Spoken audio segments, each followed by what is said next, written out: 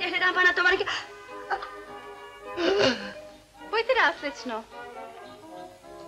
Ty jsi na Norbertová, nová sekretářka mého otce. Sekretá, sekretářka? Johnny hrabě Kedív. Uh, Kejml. Těší mě, pane hrabě, račte být angličan. Ano. Zbožňuji Anglii, roast beef, mlhu, Big Ben a hlavně krásný anglický jazyk. Och, pane hravě, neřekl byste mi něco anglicky? Oh, oh, oh, oh. Yes, goodbye. Tady jste sešel Norbertová. A Tatínku, to je hrabě John Kejml. Víš, můj snoubenec. prosím, co jsi říkala? Pojď, tatínku, já ti to všecko vysvětlím. Naschledanou. Goodbye.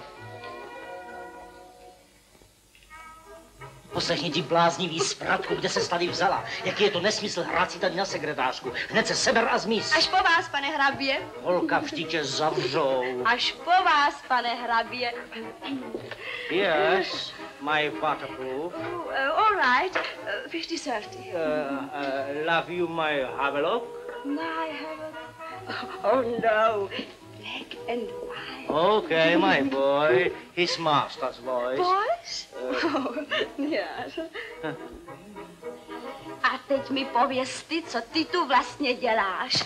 Do toho ti nic není. Já jsem přišel za důležitým posláním, ale ty koukej, aby si šla domů. Teta pá má jistě starost. Teta Pa už je na to zvyklá. Tenkrát, když jsem utekla s těmi komedianty, také se nebála. A to jsem přišla domů jenom pár blech, když to dneska se přišel s návodem na záhorskou růži. Vidím, že mě nezbývá nic jiného, než abych ti nařezal. Ty.